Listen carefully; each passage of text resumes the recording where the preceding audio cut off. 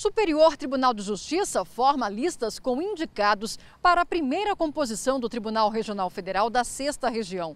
A definição final dos nomes caberá agora ao presidente da República.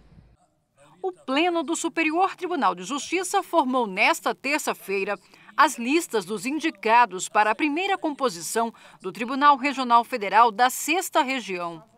A nova corte terá 18 membros. Uma das vagas será ocupada pela desembargadora Mônica Cifuentes, a única magistrada que optou pela remoção do TRF1 para o novo tribunal.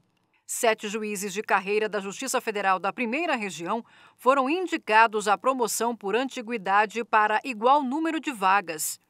Para a escolha dos seis juízes que serão promovidos por merecimento, foi formada uma lista com oito candidatos, também da Justiça Federal da Primeira Região.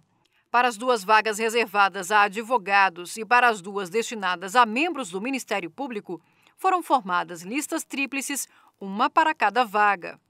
O TRF6 terá jurisdição em Minas Gerais e sede em Belo Horizonte.